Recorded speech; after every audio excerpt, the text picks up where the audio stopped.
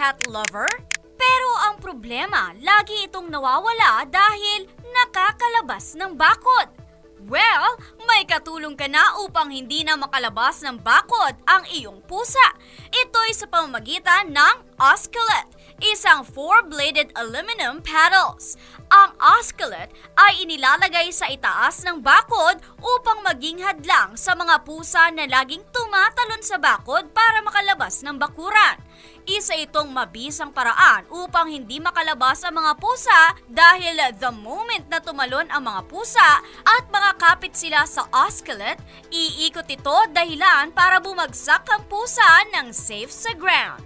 Ang osculate system ay popular na sa bansang Australia at sa ibang panig ng mundo dahil wala itong wires at iba pang parts na magiging harmful sa pusa kung kaya't itinuturing itong cat-friendly.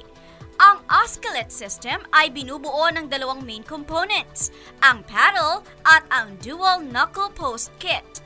Ang paddle ay gawa sa high-quality aluminum at powder-coated upang maging matibay, habang ang dual knuckle post kit naman ay gawa mula sa acetal, isang napakatibay na plastic na kaya mag-stand sa anumang klaseng panahon.